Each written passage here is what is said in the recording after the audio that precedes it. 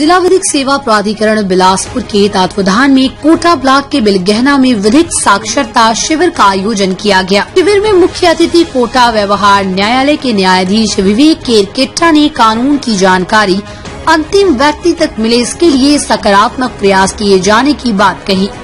उन्होंने अपराध की जड़ घर से शुरू होने अर्थात घरेलू हिंसा को रोकना ही समाज की पहली प्राथमिकता होनी चाहिए।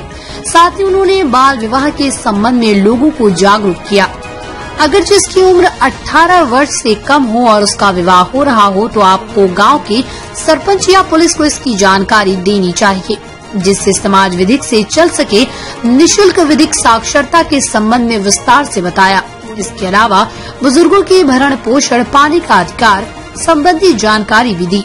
अधिवक्ता सुनील साहू ने वरिष्ठ नागरिकों के लिए विधिक सेवाएँ के बारे में जानकारी दी।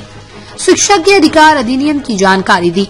कार्यक्रम को सरपंच जोशी लाल ने भी संबोधित किया एवं आभार प्रदर्शन संजय यादव ने किया। शिविर में ग्राम करी कछार एवं केकरा डी फुलवारी पारा एवं आसपास के लोग उपस्थित थे।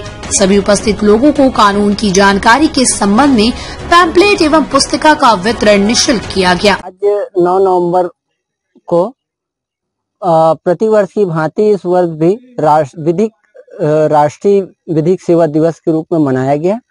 इस कार्यक्रम को लोगों तक जन जन तक पहुँचाने के लिए माननीय व्यवहार न्यायाधीश श्री विवेक क्रिकेटा जी, व्यवहार न्यायाधीश कोटा आज हमारे बीच उपस्थित थे। वो इस कार्यक्रम में शिरकत किए और लोगों को संविधान के बारे में जानकारी दिए। जिस प्रकार एक समय में राष्ट्रीय स्तर पर साक्षरता मिशन चला करती थी, लोगों को साक्षर करने की दिशा में। उसी प्रकार राष्ट्रीय विधिक सेवा प्राधिकरण जो है, वह एक मिशन चला रखी है जिसमें विधि के रूप में लोगों को साक्षर किया जाता है। इसका मुख्य उद्देश्य लोगों के, लोगों को विधि के रूप में साक्षर करना है और लगातार हमारे द्वारा या ये जो सेल गठित है, इसके द्वारा प्रयास किया जा रहा है और इसका फ़ायदा भी लोगों को दिख रहा है। विधिक साक्षरता की ओर रुझान सने सने बढ़ा है।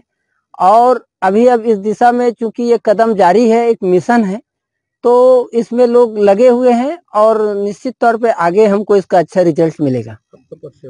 सुनील साहू अधिवक्ता सचिव अधिवक्ता संकोटा। समय न्यूज़ के लिए बेलगहना से रवि राज रजक की रिपोर्ट।